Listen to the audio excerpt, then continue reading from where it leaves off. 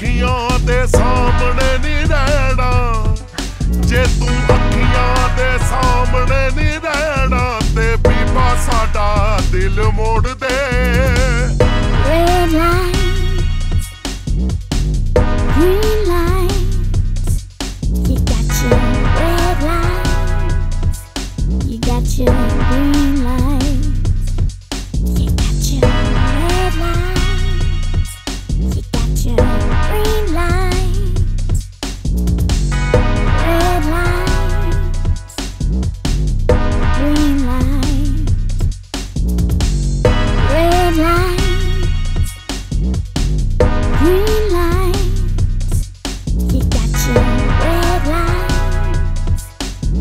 谢。